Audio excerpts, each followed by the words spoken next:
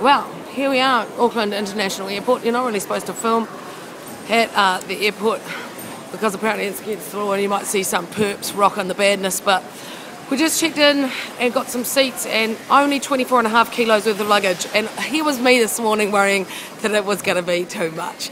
Oh, the miracles of only taking one pair of jeans. Think of the shopping I can do. Oh, but then it's all going to come back to New Zealand, doesn't it?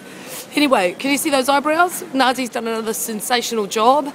Um, Think off upstairs now for a glass of wine and charge the iPhone. Bring on Melbourne, brothers and sisters.